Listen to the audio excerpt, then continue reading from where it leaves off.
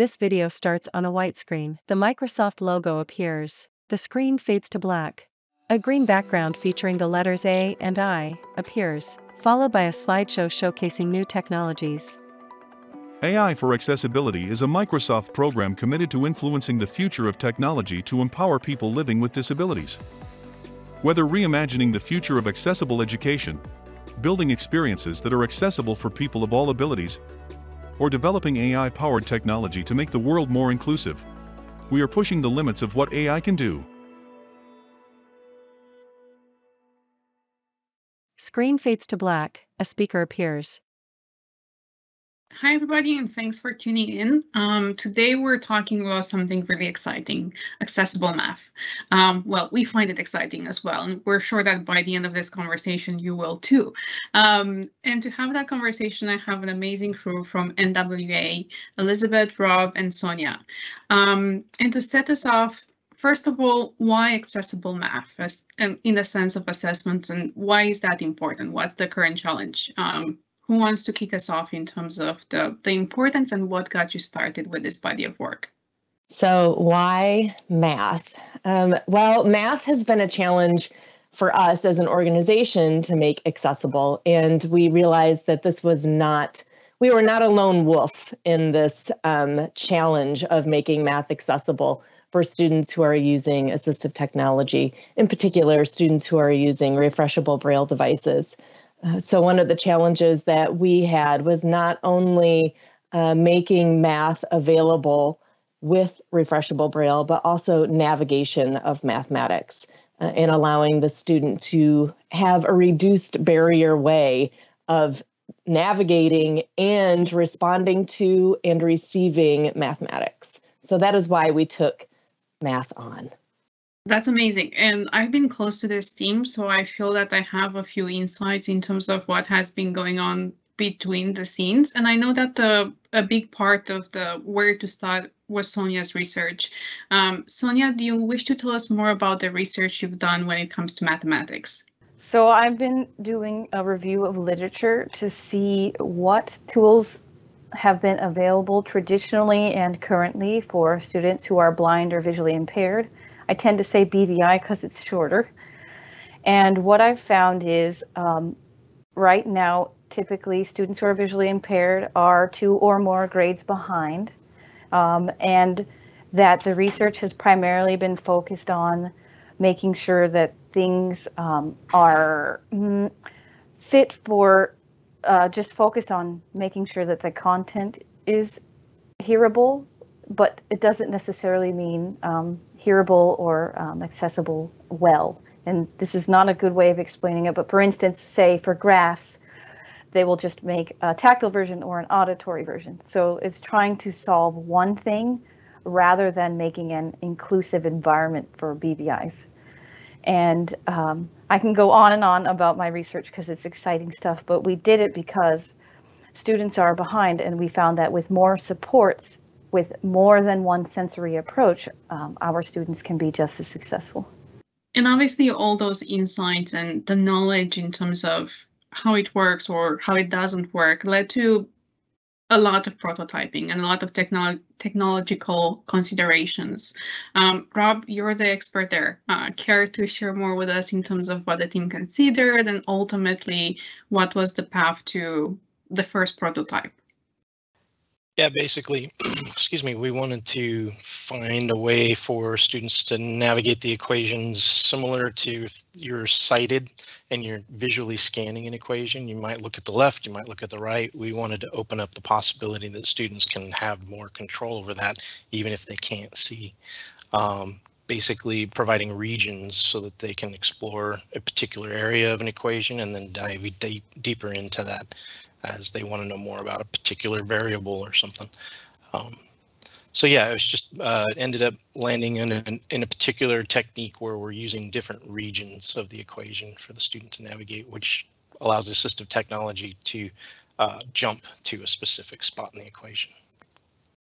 Just to add on to what Rob was describing, we also used um, artificial intelligence or natural language processing to identify some aspects of our online mathematics items that were creating barriers. So we analyzed our math, uh, accessible math assessment, which we call partially accessible because again, it, it did not have or does not have uh, refreshable braille in a way that's accessible to mathematics. So it was mainly um, use of alternative text to describe math. So we used that assessment to look at the items and look at how students with BVI are uh, taking our assessment. And then we compared those to students who are sighted and we looked at which items were quality versus non-quality based on the items that students without BVI and students with BVI were doing well on, and then which ones they both were, well, that uh, students with BVI were not doing well on, but students without BVI were doing well on. Uh, and then we dove deeper into that by having um, the Perkins Access Center, by having Sonia and the rest of the team kind of analyze what were potential barriers within the items that we found were non-quality. So we did this with our psychometrician Kong Zhu, who really dove into the AI and using regular mathematics statistics analysis to look at items within our math test. So that's how it started, and then that led us to which part of math we wanted to hone in on. So to add to what Elizabeth just said, we um, and my research is that one of the biggest struggles that students with BVI have is um, cognitive load. So typically the technology right now will read a whole equation in a row, like 2x plus 7 equals 8. Or if it's a fraction, it gets even more complicated. If it's a fraction with parentheses, again, it gets even more complicated. And um, so we used the analysis from Kong and we used um, the Common Core standards to pick equations in the eighth grade that have multi-steps um, to solve.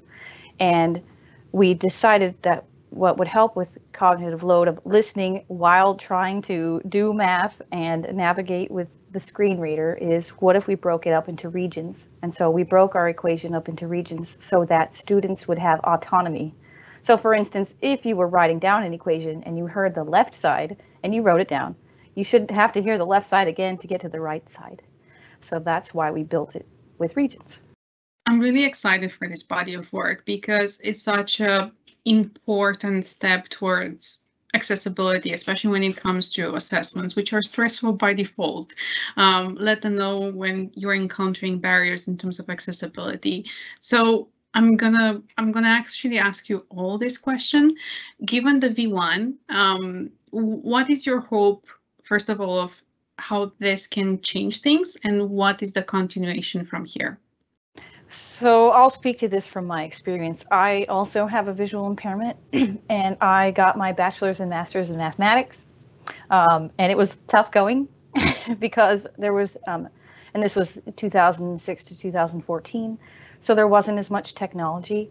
And so for me, it has a personal and a professional excitement. Um, so what I hope from version one, I hope that we can productionize it in such a way that it will be readily available to anyone um, who has a visual impairment and wants to learn math because it's a lot to hold on to while you're trying to solve an equation, hear it, and feel a graph. it's a lot of stuff.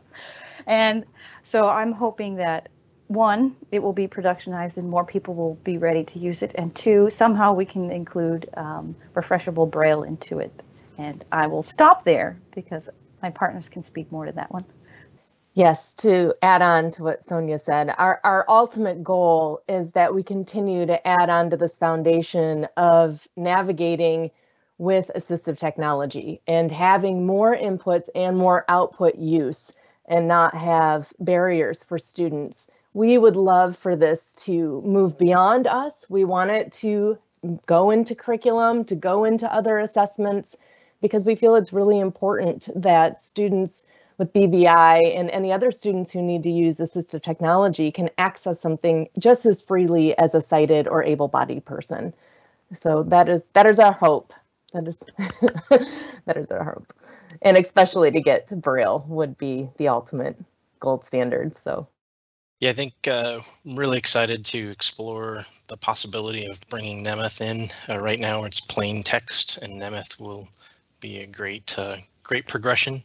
Uh, also, we're looking to use artificial intelligence to assist in the production process of this, where we have content authors who generate equations. We don't want them to have to literally sit and generate the code that allows students to navigate this. So we're looking at that.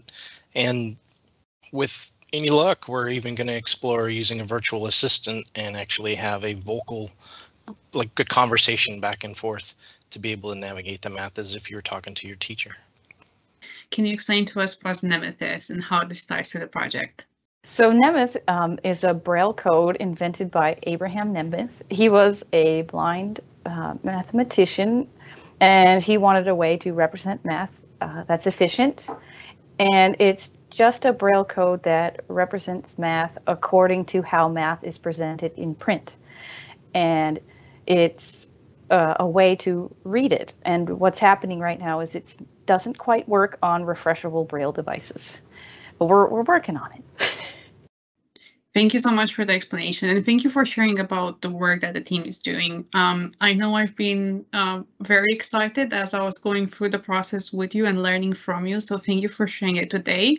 Um, and everybody who has tuned in, we hope you found this interesting and valuable. And let's do more in order to close the disability divide. Thank you very much.